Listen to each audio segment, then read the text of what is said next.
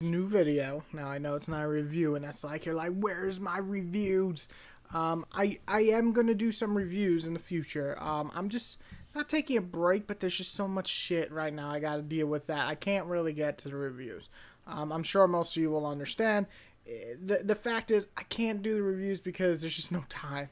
Um, I work two jobs, and I got my wedding in August, which is like super super chaotic to get everything in order.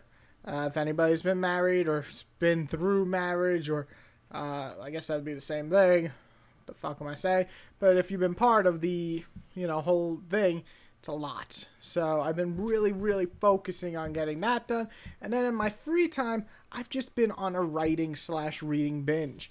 Um, I've been reading a whole shitload. Um, probably not the best idea to start two Stephen King novels at the same time, as they're extremely heavy, on top of starting two other novels.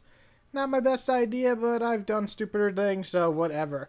I'm getting through that in the reading, and I'm really, I love to read multiple different genres, different authors to me, it's really exciting because uh, just to see how p- different people write and how people interpret different things and so on really, in, my, in my opinion, influence the way I write.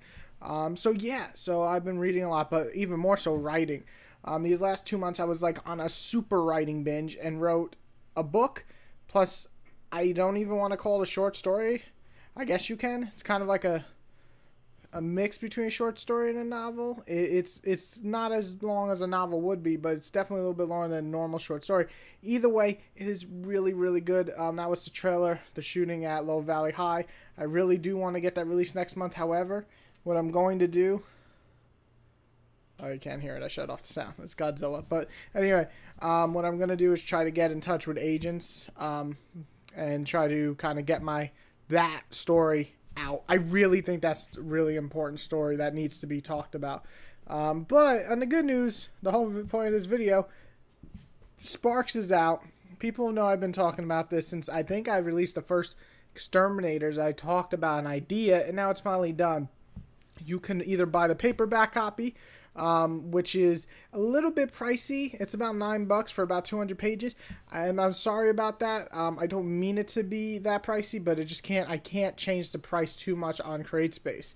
It was either going to be that or more. So I didn't really have an option. Um, they need to make their money to to create the cover and the, the, binding and all that. So that's all I can do. I am super sorry.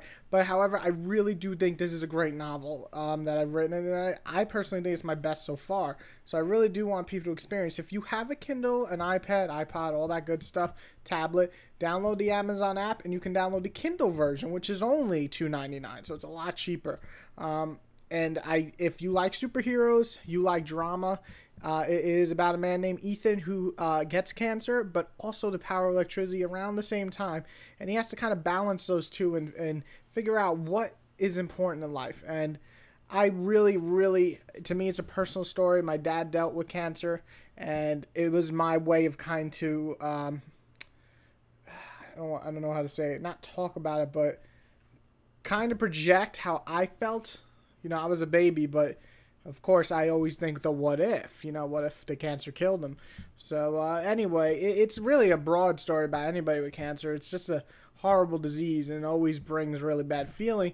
So, I need to kind of talk about it, but I the, it's also superhero, you know, dealing with being the first superhero, kind of like Kick Ass, but a little bit more, less comedy and more real. I want to put it that way. But there are some funny bits. I am funny.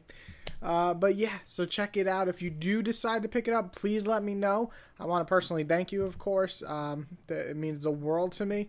And uh, really, that's it. Um, reviews, like I said, I'm taking a break.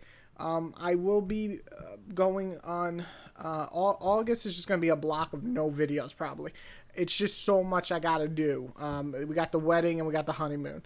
So I will be back in terms of really doing video reviews more towards like mid September. But that's good because that's when like Destiny comes out, Lord of the Rings is coming out soon after Aliens, and I will of course try my best to review those for you. I still have Wolfenstein and I haven't even started or Murder Soul Soul Soul Suspect, so I do want to get to that. So anyway, before I make this a 20 minute video, thank you all for your support and staying around.